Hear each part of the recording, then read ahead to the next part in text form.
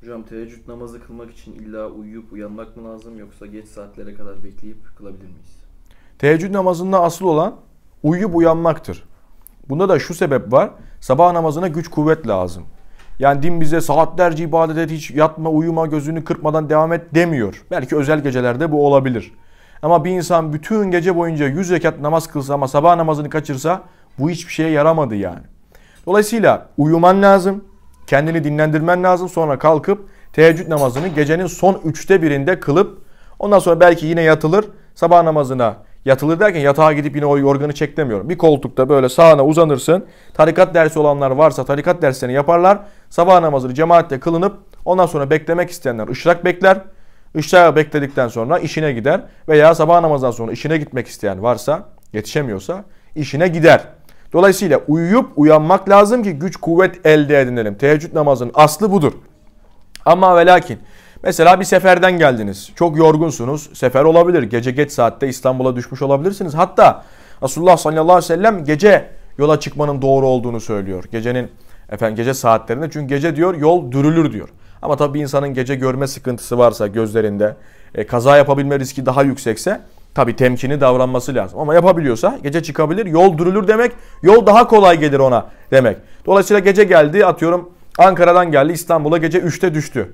Şimdi uyusa, uyansa, teheccüd kılsa bütün bir denge bozulacak. Sabah namazı da güme gidebilir. Bu adam eve gelip teheccüdünü kılıp yatabilir.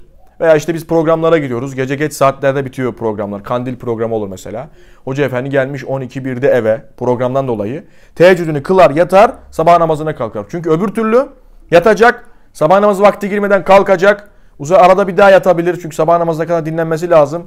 Ama bir dengesizlik olacak. Bu sefer sabah namazı güme gidebilir. Ayrı mesele. Ama mutlak manada yani şunu demiyorum. Sen Instagram'dan sabaha kadar film izle.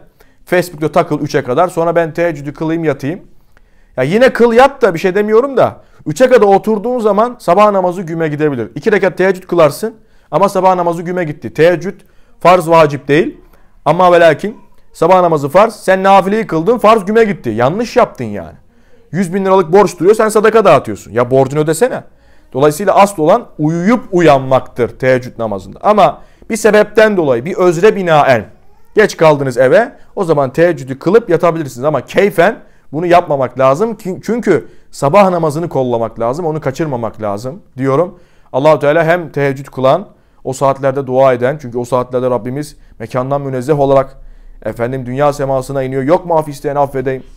Yok mu istiğfar isteyen efendim tövbesini kabul edeyim? Ya bir anne her dakika çocuğuna bir şey sormaktan artık imtina eder. Bıktım sen hep seninle mi uğraşacağım der.